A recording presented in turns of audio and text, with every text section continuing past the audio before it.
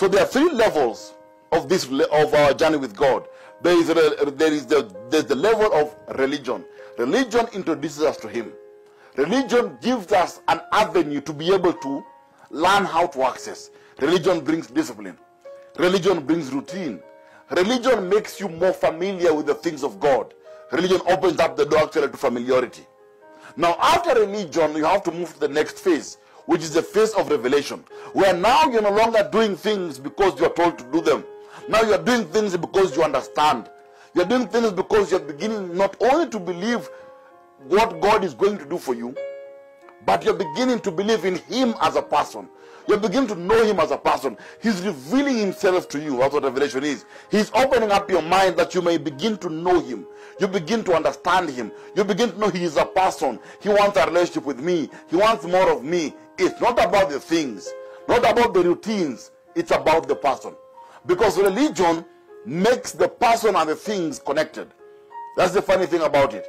Religion makes you know that if I do this, then I am here with Him.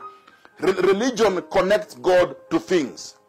That's why in religion we believe that if I do this, then I am holier. If I do this, then I am closer. If I do this, then I can, then then then I then God should give me more.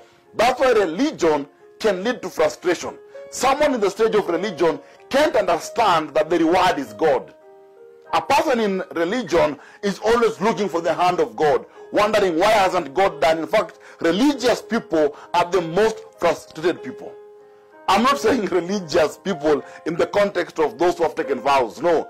I'm saying people who are bound at the level of religion are the most frustrated people. Why? They will say, I wake up every day at 3.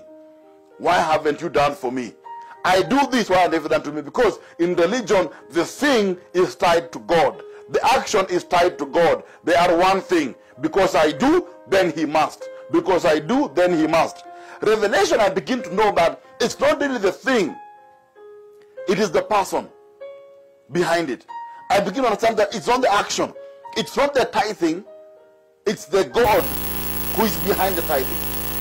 I begin to understand that it's not the fasting, it's the God behind the fasting. It's not the power, it is the God behind the power. Revelation brings an opening of, of our mind that there is a person behind, and this person is real. Revelation makes me know, oh, by the way, he doesn't want me or, des- or demand from me to fast. He wants me to desire to fast. He's not demanding I wake up at 3 to pray. He wants me to desire to wake up and pray. I begin to see a part of God I never saw. Because now revelation begins to make me begin to see his face. From there, if I push a little bit further, then I move the level of relationship. Relationship is where now it's not the things, it is him. But Lord, I want to see you face to face. I want to commune with you. I want to eat with you. I want to talk to you as a man talks to his friend. That is relationship. Now, why am I mentioning this? It's because when I understand that the reward is Him, this only becomes clear to a person who has relationship. If I have relationship with the Father, then it's easier for me to understand when He says that, Victor, I am yours and you are mine.